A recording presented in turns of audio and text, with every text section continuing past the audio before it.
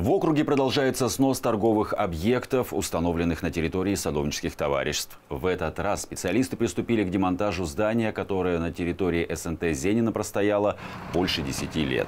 Как пояснили в Управлении потребительского рынка услуг и рекламы администрации городского округа Люберцы, торговая деятельность на территории садовнических товариществ запрещена. Извещение об устранении нарушения было направлено владельцу торговой точки. Добровольно сносить здание он отказался. Поэтому администрация обратилась в суд с иском о сносе торгового объекта. Было э, судом установлено э, в результате двух инстанций, что данный торговый объект расположен здесь незаконно. И принято решение о его демонтаже. Э, Площадь данного объекта 176 квадратных метров. Сносить будем э, силами администрации, а с выставлением через суд судебных издержек собственника данного объекта.